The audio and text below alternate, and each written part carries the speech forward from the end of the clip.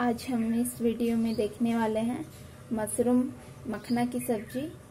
तो आइए देखते हैं कैसे बनती है। तो इसके लिए मैंने यहाँ क्या क्या सामग्री लिया है। मैंने यहाँ ये मशरूम लिया है, जिसे मैंने हल्का सा उबाल लिया है, इसलिए इसका कलर चेंज हो गया है। और यहाँ मैंने थोड़ा सा गोभी लिया है, उसे भी मैंने फ्राई कर लिया है। और ये मैंने थोड़ा सा पनीर लिया है, उसे भी मैंने फ्राई कर लिया है। और ये मैंने एक बड़े प्याज को ऐसे टुकड़ों में काट लिया है।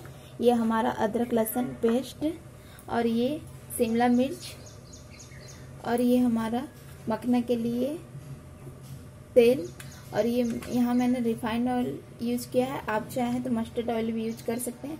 यहाँ मैंने थोड़ा सा मखना लिया है। मैंने स्वाद अनुसार नमक लिया है।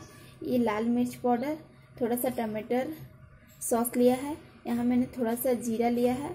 थोड़ा सा हरा धनिया लिया है, थोड़ा सा सफ़ेद तिल लिया है और ये मैंने हल्दी पाउडर और ये धनिया पाउडर लिया है। तो आइए देखते हैं कैसे बनती है। तो मैंने यहाँ एक पैन लिया है, उससे में हम गर्म होने के लिए छोड़ देंगे।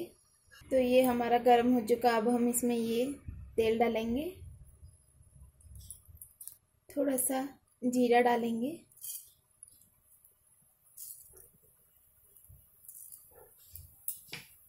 तो ये हमारा जीरा हो चुका अब हम इसमें ये कटा हुआ प्याज डालेंगे और इसे फ्राई करेंगे। और इसका फ्राई करना है इसे। तो ये हमारा हल्का फ्राई हो चुका अब हम इसमें ये बड़े शिमला और छोटा शिमला दोनों को डाल देंगे। और इसे भी थोड़ा सा भून लेना है, ताकि इसका कच्चा टेस्ट चले जाए। तो आप यहाँ देख सकते हैं, ये हमारा हल्का फ्राई हो चुका अब हम इसमें अदरक लहसुन पेस्ट डालेंगे। मैं यहाँ दो चम्मच से ढाई चम्मच तक यूज़ कर रही हूँ। और इसे मिक्स कर लेना है ताकि ये भी भूने। तो ये हमारा अदरक लहसुन पेस्ट भून चुका अब हम इसमें हल्दी पाउडर, थोड़ा सा लाल मिर्च पाउडर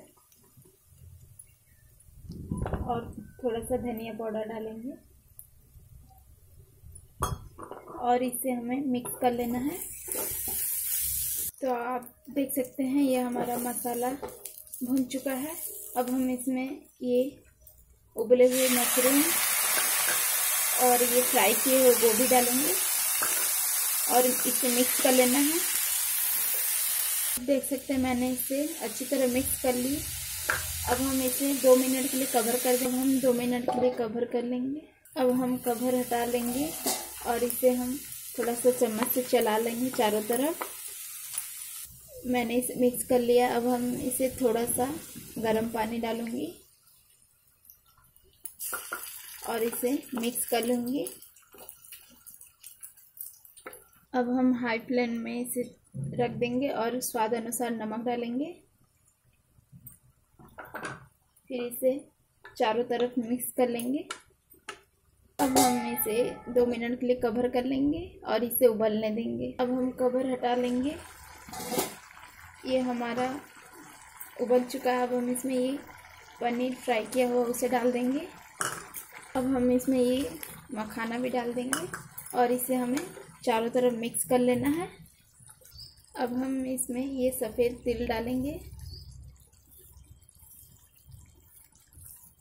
और ये टमाटो सॉस भी डाल देंगे थोड़ा सा और इसे हमें मिक्स कर लेना है। तो आप देख सकते हैं, मैंने यहाँ हल्का सा ग्रेवी रखा है। अब हम इसमें ये हरा धनिया डालेंगे।